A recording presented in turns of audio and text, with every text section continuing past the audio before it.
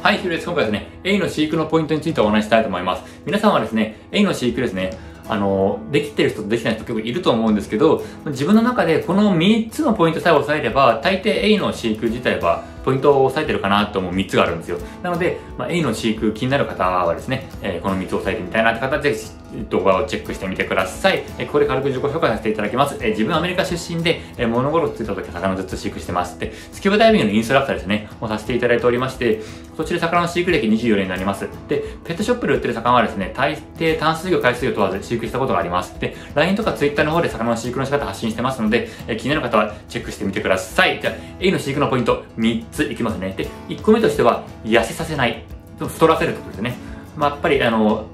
え尻尾の付け根とかがちょっとガリガリになってしまってることたまに見ると思うんですけど、ああなってしまうとなかなか厳しいです。まあ、あの状態では自分わざと買って、パンパンに太らせて、あの、復活させたことあるんですよ、何回も。ただ、2、3ヶ月かかりました。結構大変なんですよ。なので、結構つきっきりで、看病じゃないですけど、ね、飼育してる可能性もあるので、結構大変でした。でも結果的に太ることはできたんですよ。ただやっぱり、他の魚に比べて、ちょっと太らせるのは難しいかなっていう印象がやっぱあるので、痩せさせない。これ結構重要になりますね。で、二つ目としては、なるべく人工餌に餌付けてください。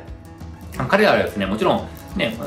おやつ程度に、あの、生餌とか生き餌を与えるのはいいと思うんですよ。全然自分もおすすめはするんですけど、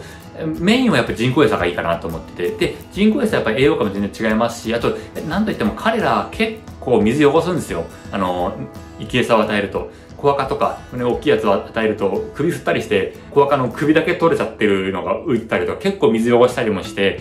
大変なんですよね。なので、もちろん、やっぱり生き餌ならではの食いつきとかってあるので、それを楽しみにしたい方はいると思うんですけど、まあ、メインではなくておやつ程度に、えー、ぜひしてみてください。で、三つ目としてはですね、ヒーターの火傷させないっていうのは結構重要ですね。まあ当たり前っちゃ当たり前なんですけど、ヒーターカバーをつける。まあオーバーフロー水素であればですね、ろ過層にその、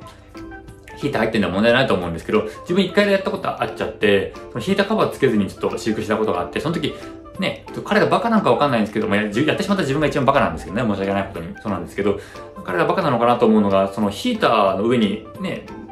プラってそのまま寝寝てたりとか、そのままじーっといて、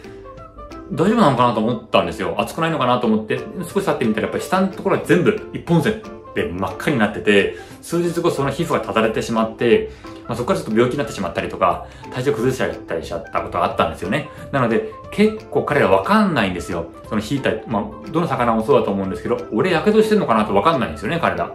なので、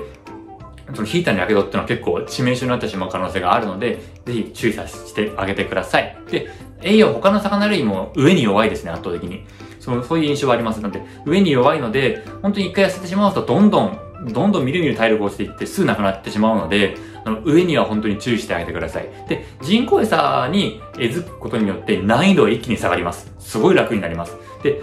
簡単に太りやすくもなりますし、人工餌にえずくと、まあ、本当にそうですね、飼育の管理もそうですし、水の汚れもそうですし、病気面もそうですし、栄養価もそうだし、本当にメリットしかないので、ぜひ人工餌にいち早くね、えずかせてください。じゃあ、え、ここで、えー、3つのポイントをまとめさせていただきたいと思います。えー、1つ目としてはですね、痩せさせない、太らせる。で、二つ目としてはですね、人工餌になるべく餌がせてください。なるべくとは絶対餌がせてください。で、三つ目としては、ヒーターの火傷させない。この三つですね。で、この三つを守ると A の飼育はもう大抵うまくいくので、えぜひ、え試してみてください。まあ、こんな感じでですね、自分のチャンネルの方ではこういう感じの、ね、魚の飼育の仕方発信していきますので、えチェックしてみたいなって気になる方はっていうのはぜひチャンネル登録していただけると自分嬉しいので、ぜひよろしくお願いします。ありがとうございました。